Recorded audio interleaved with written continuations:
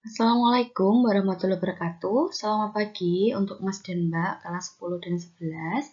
Hari ini Budini akan melanjutkan pembahasan tentang subbab virus. Jadi lanjut saja ke soalnya. Uh, Hersey dan Chase melakukan eksperimen untuk mengetahui molekul yang berperan dalam mengatur sifat-sifat organisme. Dalam percobaan tersebut, bakteriofag T2 diberi label 35S atau 32P sebelum digunakan untuk menginfeksi Escherichia coli. Nah, di sini Escherichia coli ini merupakan, kalau di tubuh kita, merupakan flora normal yang biasanya itu membantu membusukkan uh, makanan. Nah, tetapi apabila uh, produksi Escherichia coli ini berlebihan, itu dapat membuat kita mengalami diare seperti itu. Nah, langsung saja ke pernyataannya. Jadi pernyataannya benar atau salah? Pernyataan pertama, virus bakteri yang digunakan pada eksperimen ini terdiri dari kromatin dan protein. Pernyataan ini salah. Karena kenapa? Jadi bakteriofag itu sendiri merupakan bakteri yang uh, dia menginfeksi bakteri. Sedangkan uh, komponennya itu uh, disusun oleh asam nukleat berupa DNA dan semuanya ini diselubungi oleh protein. Kemudian kalau virus, virus itu merupakan partikel yang berukuran sangat kecil yang hanya terdiri atas materi genetik berupa DNA kalau uh, DNA ataupun RNA dan selubung protein seperti itu. Nah, selanjutnya kalau kromatin, nah di sini kromatin itu merupakan campuran DNA dan protein yang dapat dijumpai di sel eukariotik atau uh, sel yang memiliki membran inti. Jadi pernyataannya salah ya, karena uh, bakteri ini hanya mengandung materi genetik berupa DNA dan protein, seperti itu. Selanjutnya, poin B, Hersey dan Chase menggunakan 35S dan 32P untuk melabel DNA.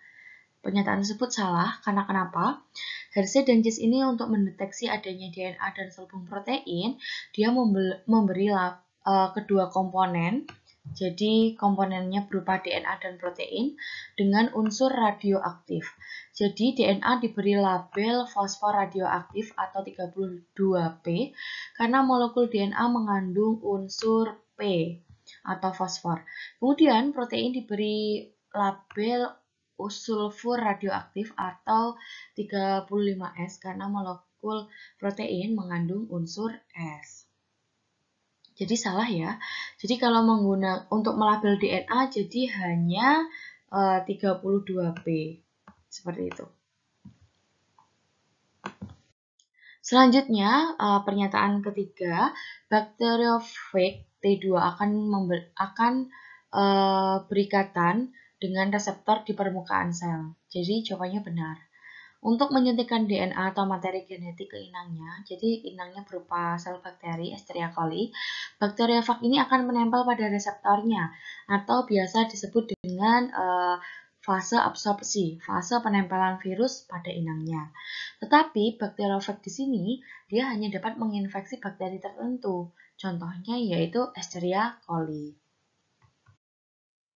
Selanjutnya, uh, poin D, keturunan dari virus yang diproduksi sel inang yang akan berlabel oleh 35S dan tidak oleh 32P.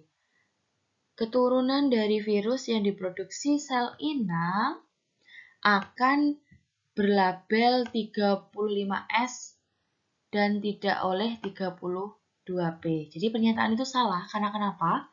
Bakteriofag itu menyuntikkan DNA, DNA-nya ke dalam bakteri atau inangnya, sedangkan selubung proteinnya ini akan tertinggal di luar sel inang. Berbeda dengan um, virus yang bergenom RNA ya, yang memiliki uh, apa namanya amplop, dia yang masuk masuk ke dalam inangnya itu berupa materi genetik dan kapsid. Sedangkan kalau uh, yang bergenom DNA, dia akan ditinggal di luar. Jadi yang masuk ke dalam sel inang itu hanya materi genetiknya. Jadi kalau nggak DNA ya RNA-nya saja. Selanjutnya, DNA akan digunakan untuk mengarahkan sintesis selubung protein baru yang pastinya tidak mengandung label 35S, sehingga keturunan bakteri nantinya akan mengandung label 32P yang berasal dari DNA yang diinjeksinya tadi. Seperti itu. Cukup sekian pembahasan dari uh, soal nomor satu. Apabila ada pertanyaan, boleh kita diskusikan bersama-sama di grup.